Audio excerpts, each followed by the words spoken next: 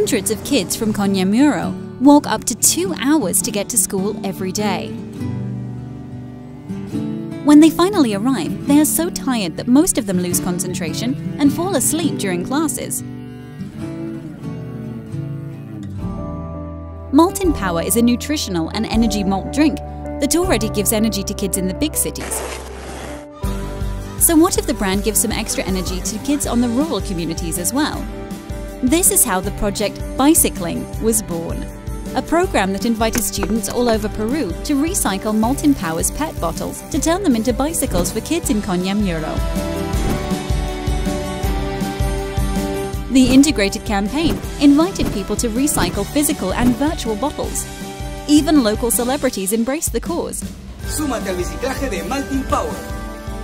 This innovative way of raising environmental awareness and helping kids in need at the same time quickly became news. Maltin Power lanzó la campaña Biciclaje, que ¿Qué? consistió en recolectar botellas de la misma marca y convertirlas en bicicletas. generating a huge visibility for the campaign.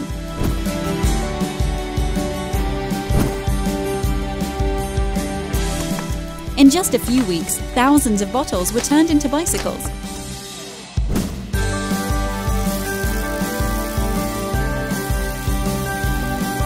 Which made it possible for hundreds of kids to arrive at school faster.